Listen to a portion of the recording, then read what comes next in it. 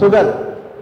இந்த சர்க்கரை வியாதியில் வந்து இருபத்தி ஏழு வகையான சர்க்கரை வியாதி இருக்குது பொதுவாக நம்ம என்ன சொல்லுவோம்? ரத்தத்தில் சர்க்கரை அளவு மற்றது மொத்தம் எத்தனை இருக்குங்க?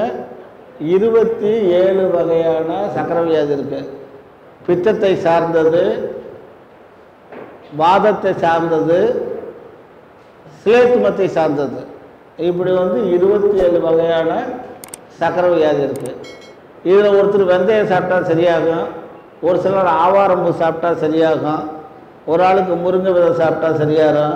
ஒருத்தருக்கு வந்து பார்த்திங்கன்னா நாவல் பழம் சாப்பிட்டா சரியாக இருக்கும் இப்படி சிறுகுறிஞ்சான் சாப்பிட்டா சரியாக இருக்கும் இப்படி ஒவ்வொருத்தருக்கும் ஒவ்வொரு விதமாக இருக்குது இதில் வந்து என்கிட்ட அடிக்கடி வந்து பார்த்திங்கன்னா அலோபதியில் இருக்கக்கூடிய டாக்டர்ஸு அக்குபஞ்சத்தில் இருக்கக்கூடியவங்க பாதபூசாவில் இருக்கக்கூடியவங்க ஹோமியோபதியில் இருக்கக்கூடியவங்க கலந்துரையாடும் கலந்துரையாடல். என்ன பண்ணலாம் சாமின்னு கேட்பாங்க.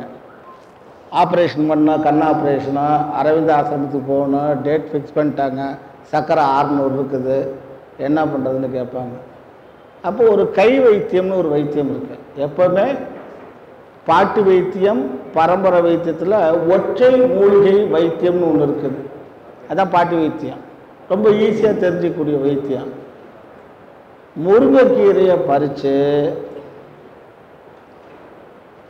நைட்டு சித்தக்கலையம் என்று சொல்லக்கூடிய பானையில் போட்டு ஒரு உதாரணத்துக்கு ஒரு நூறு கிராமுக்கு ஒரு முந்நூறு மில்லி தண்ணி. எல்லாம் ஒரு குத்து மதிப்பு தான்.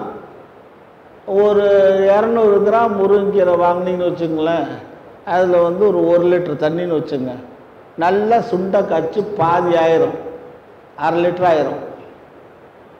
வச்சுங்களா அதை அப்படியே விட்டுருணும் காலையில் எழுந்திருச்சு அதை வடிகட்டிடணும் அப்போது அந்த தண்ணி இருக்குது பார்த்தீங்களா? அதில் குறு மிளகு ஒரு அஞ்சு மிளகு அப்படி தட்டி போட்டுடணும் போட்டு வெறும் வயிற்றில் குடிச்சிங்கன்னா என்னோட கணக்கு ஒரு நாளைக்கு நூறு பாயிண்ட்டு கம்மியாகும். சிலருக்கு லோ சுகர் கூட ஆயிரும். அதனால் ஒரு மூணு நாள் குடிச்சிட்டு டெஸ்ட் பண்ணி பார்த்தீங்கன்னா சுகர் கம்மியாக அது ஹண்ட்ரட் பர்சன்ட்டு இது அனுபவமாக கண்ட உண்மை.